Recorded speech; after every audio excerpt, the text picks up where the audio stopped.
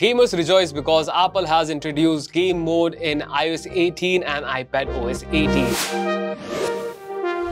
This is one long-awaited feature that will help iPhone to compete with gaming-focused smartphones. So what exactly game mode is and how it works. So when you enable game mode, your iPhone will focus all its resources on the game which you are playing. This means that background processes will be suspended, animations will be reduced, and notification will be blocked to improve performance. Game mode will improve response time of Bluetooth accessories. This is crucially helpful for all those gamers who uses a Bluetooth controller or Bluetooth accessories with their iPhone.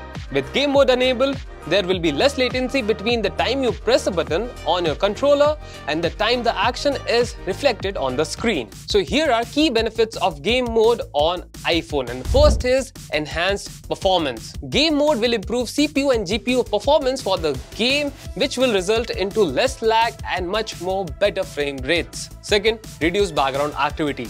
Game mode will help you to suspend all the background tasks and notification which will improve performance and battery management. And lastly, game mode will improve response time of wireless accessories such as Bluetooth headphones, or earbuds or Bluetooth controller. If you're a smartphone gamer, then game mode is one feature you're going to love and it will help you to get most out of your iPhone's gaming capabilities. Similarly, if you press the subscribe button, then it will help us to bring the most out of our capabilities. And make sure you press the like button if you're enjoying this content and let YouTube knows that we are doing some good work. And if you want to enjoy more everything Apple content, then make sure you go to App Store and download iGeeks blog app and enjoy amazing wallpapers as well. On this note, this is me Samir signing off and I will see you in the next one. Till then, Tara, see ya, bye bye. And you know what? Keep gaming.